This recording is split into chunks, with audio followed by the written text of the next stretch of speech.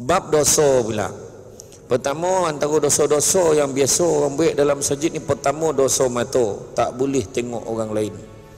Wah dia ni datang pula tiba-tiba. Oh dia ni mulut. Dalam mati tu bersangkut-sangkut dengan orang. Dosa. Kan? Ni tak ada lah ni dah. Tak lama dia datang masjid ni. Dan tahunya kawan tu tak pernah datang. Dia cakap tengoklah tu. Mesti tak lama punya. Ini dia datang tiba-tiba ni kau tengoklah. Mesti kenduri kau nak bet tak? Ajaklah betting. Ya kan tambah dosa tu. Memang kawan tu datang nak ajak kenduri. Dia memang payah datang masjid tiba-tiba datang ajak kenduri. Tapi kita cuba lah rumah. Ni kita cakap kau ni datang kalau setakat ajak kenduri tak payahlah. Dia sebabkan mulut kita dia tak datang, tanggunglah. Akhirat so jawablah. Ha, banyak lagi bono-bono baik boleh cakap kan? Ha, cakap macam tu pula kan? Ha. Seronok tengok kau datang. Tapi besok kalau dah habis kenduri janganlah kau tak datang. Seronok tengok kau datang. Bertambah jemaah kita ha. ha macam tu ha. Kan? Hmm. Masjid dah selesa tuan-tuan kan. Orang tak nak datang. Balik. Itu saya ceramah ke MSU. Nak kutip dana pembinaan masjid Bandar Bukit Rajo. Kos pembinaan 9.6 juta. Saya tanya Abang Samsul Rau-Rau. Bila dapat ni bang? Banyak betul 96 juta.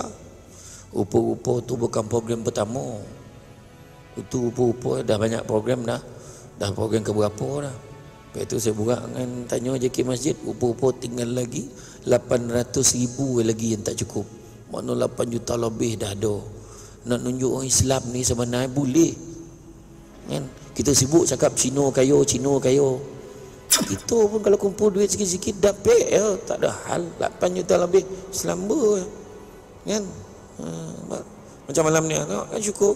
Ramai boleh datang kan? Ha, cuma yang tak datang lagi ramai lah ha, tu dah kemudian hati. Hati tak baby dosa mengata orang. Hati ni tak elok ya. aduh ini tak ada lah ni doh ini imam ni tak boleh pakai ni. Ha, mula dia. Hati. Kan Betapa apa dalam hati tak tahu.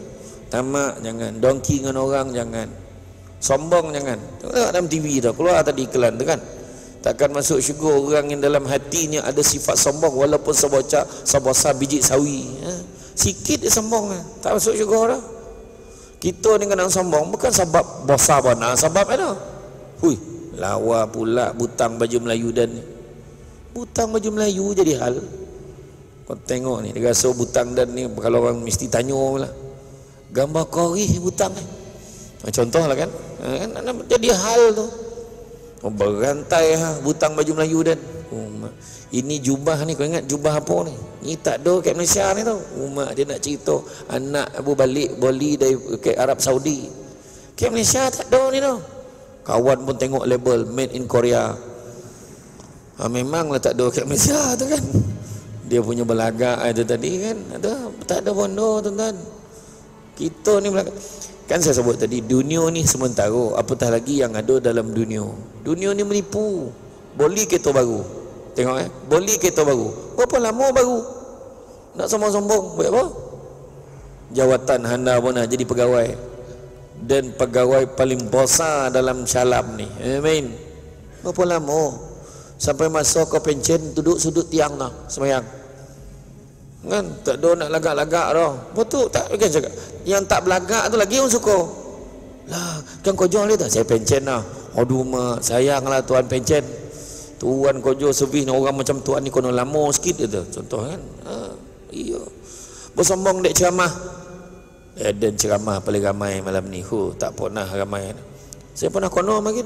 Ceramah paling mahal bayar. Pulak kono melogot kursi ni. Makin rendah pula Ha, tubuh sombong sikit tu dah melorot. Agaklah kan. Macam masa ceramah kan. Saya habis balik ceramah kat Johor tu sap dia bagi saya envelope. Kan. Dia kata, "Bang, bagi envelope ni." Rezeki tuan, alhamdulillah. Saya pun alhamdulillah lah. Saya pun cakap dengan driver saya masa tu. "Woi, berhenti kat bank Islam." Apa nak? Nak bank in sebab saya tak biasa pegang duit banyak. Sebab orang perempuan boleh bau dia macam belerang tau. Dia salam cium tangan. Dapat duit kata dia tahu eh